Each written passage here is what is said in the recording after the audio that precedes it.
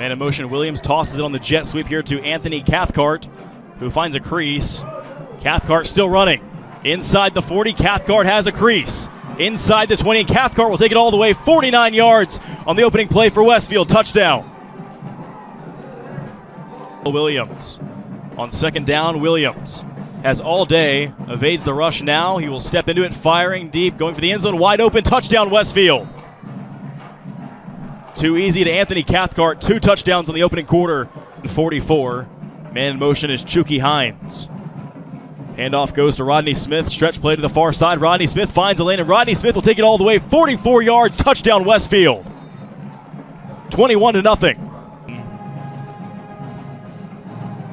as Placencia is standing inside the five. High snap will go into the end zone, and this one will go out of the back of the end zone for a safety. Give Westfield another two points to make it 24 to nothing. Williams, another jet sweep here to the near side, finding a lane to the outside. Goes Xavier Todd for the touchdown.